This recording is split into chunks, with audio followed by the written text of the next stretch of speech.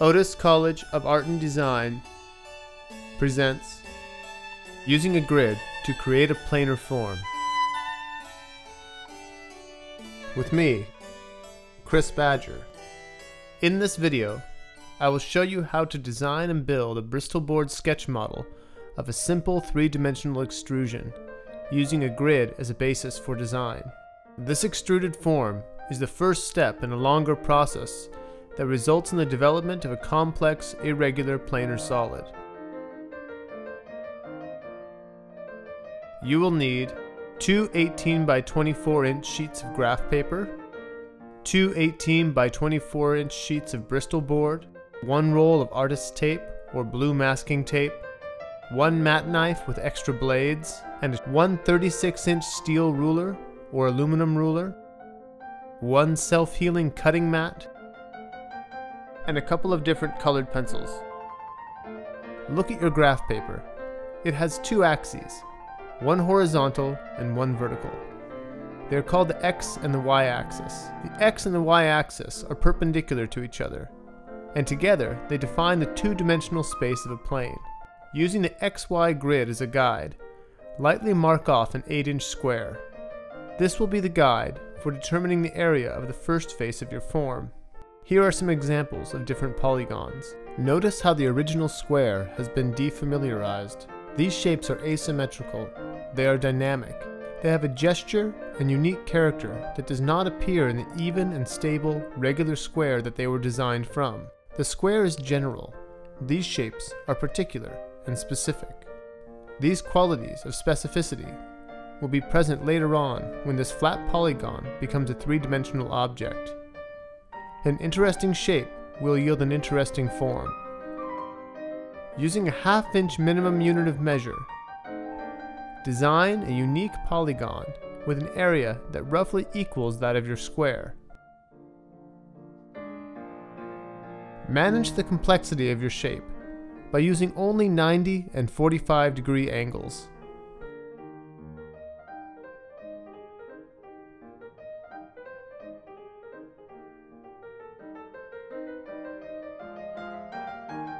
Use both inside and outside corners. The inside corners will become negative spaces in your final three-dimensional form. At this stage, it is important that you stick to the grid.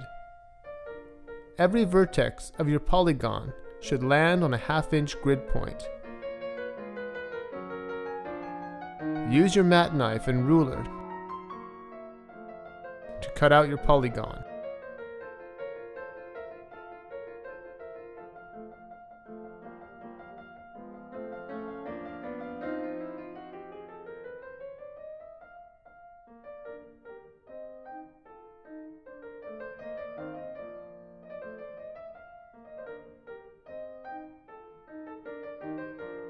Lay your Bristol paper down on top of your cutting mat so that it is aligned with the printed grid.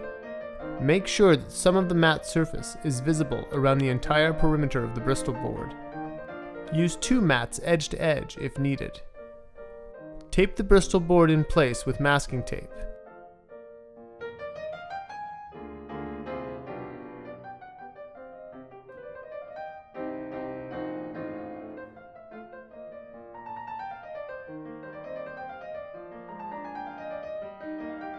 Use your ruler to transfer the grid lines of the mat onto the Bristol paper. Use a hard pencil and lay down as little graphite as possible. Cleanliness and precision are very important at this stage. Drawing a crooked grid will cause you to build a crooked and bent form. Every step of the process is present in the final outcome.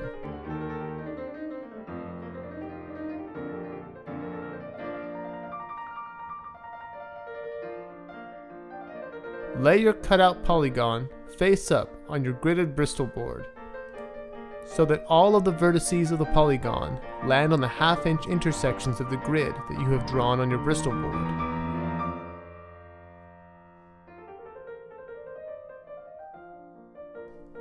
Mark the points on the grid that correspond to the vertices of your polygon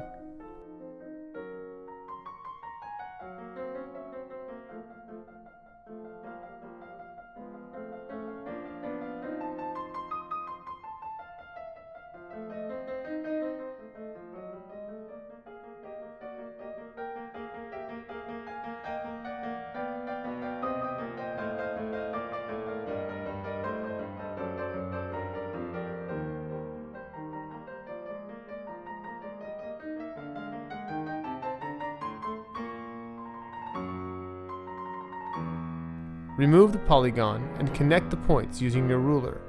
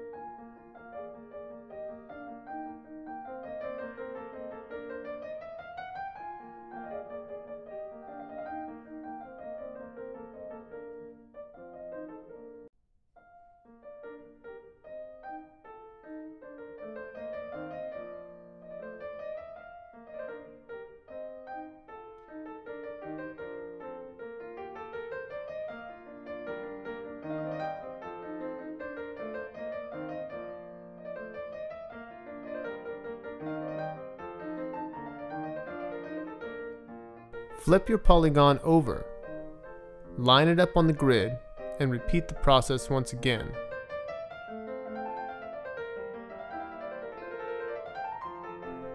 generating the exact mirror image of your first shape.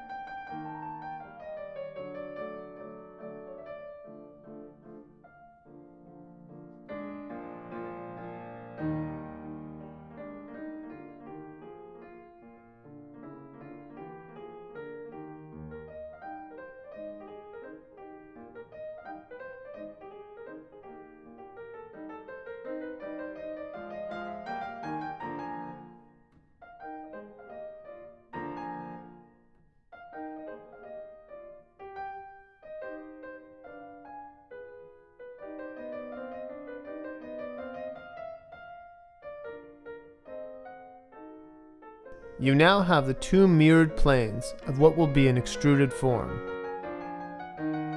I will also use the grid to mark off an 8 inch strip.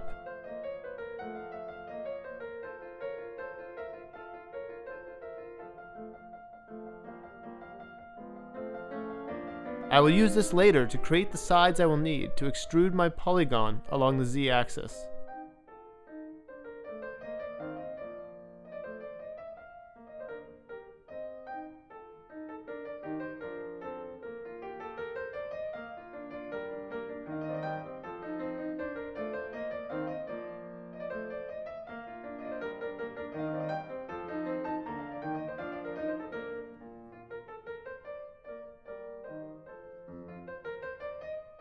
Cut them both out using your mat knife and ruler.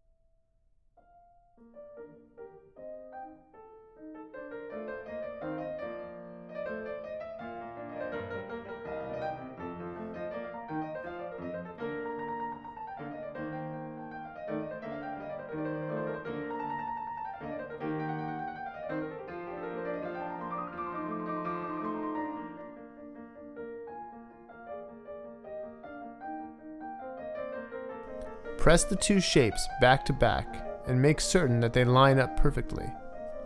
Any deviation in the similarity of the two mirrored faces will create bends and gaps in your three-dimensional form. Look at the face of your polygon.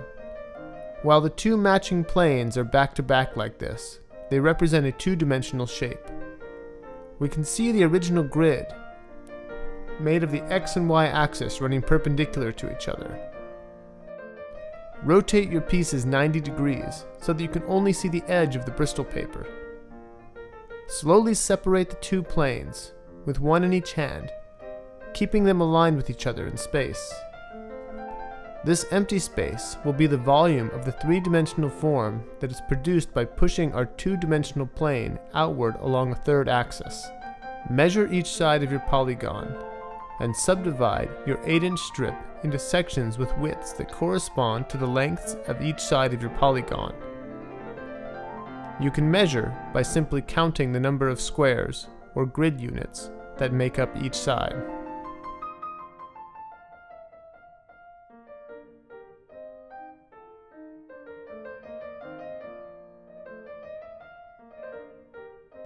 Accuracy, not speed, is important at this stage.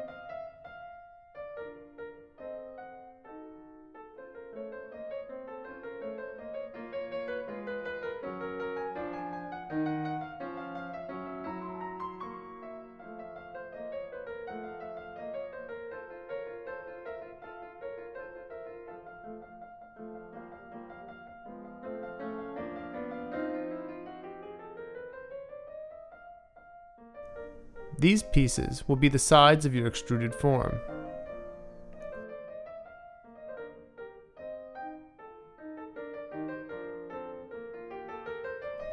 Assemble all of your pieces using masking tape.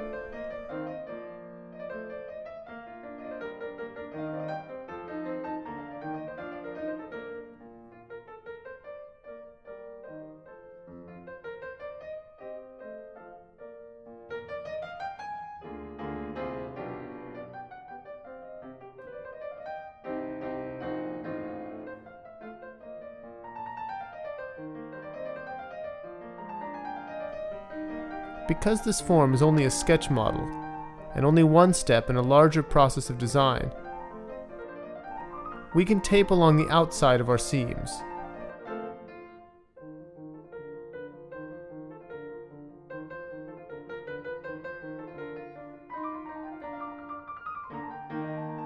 While the look of the tape is not so important at this stage, the accuracy of the alignment of the parts is. Before making a taped seam, lay the pieces down flat and line them up with each other perfectly.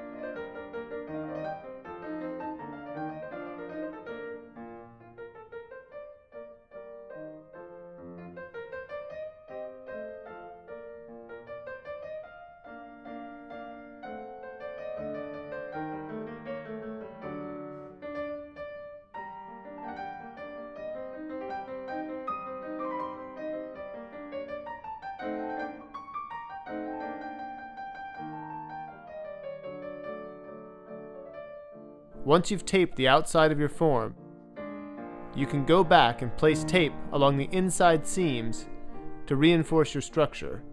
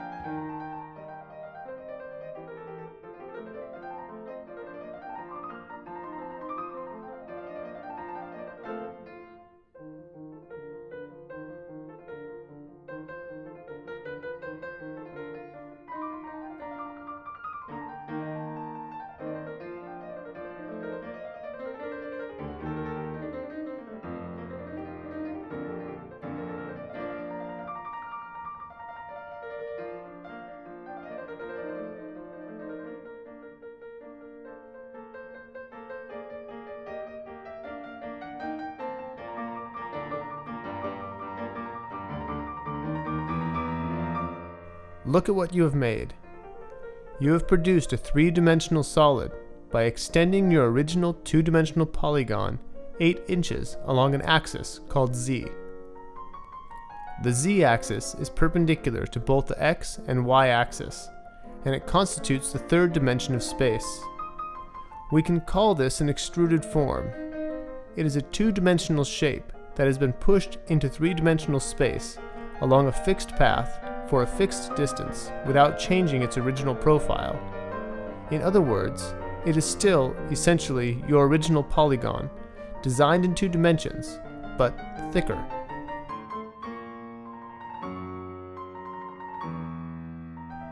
The next phase of the design process is to shift this object on the z-axis and design a form that is particular and specific from every angle a form that must be experienced spatially in order to be fully comprehended.